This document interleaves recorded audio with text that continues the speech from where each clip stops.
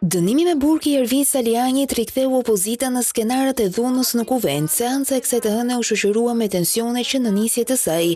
Flamur Noka, Gazmend Bardhi, Bledion Nallbati, Dashnor Sula, por edhe ligjvënës të tjerë, u përplasën që në nisje të Kuvendit me gardën. Ata u konfrontuan me punonjësit e sigurisë ndërsa hodhën edhe sende të forta në drejtim të kryetares së Kuvendit, Elisa Spiropali.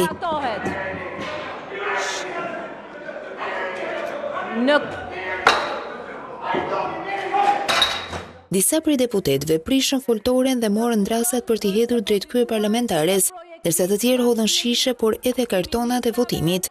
Nuk munguan as këmbëzat e karigeve. Miratohet. Më pas ata dolën jashtë me karige në duar. Të vendimit penal për deputetin zotin Salianji. Të cilat i hodhën të gjitha në hyrje të Kuvendit, më pas u vendosën zjarrin.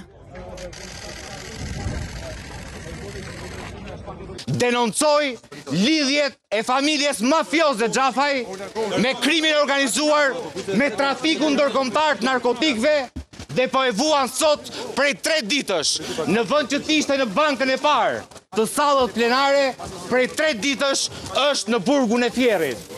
Prandaj dhe karriget tona janë të qytetarëve, Edi Rama ka djegur parlamentin, ne dorëzojmë karriget tona duke i djegur ne të parët sepse nuk jemi këtu për veten tonë, jemi për qytetarët. Deputetët demokratë pas këtij veprimi u rikthyen edhe një herë në sallë, ndërsa garda fiku menjëherë flakët.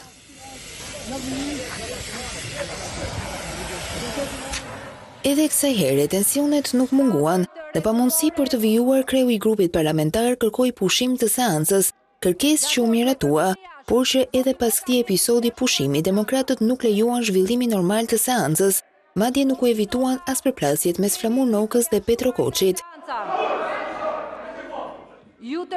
Deputeti demokrat u përjashtua, por Spiropali vendosi të mbyllë seancën, Demokratët paralajmëruan se nuk do të lejojnë normalizimin as në seancat e ardhshme, me argumentin se qeveria po burgos opozitarët.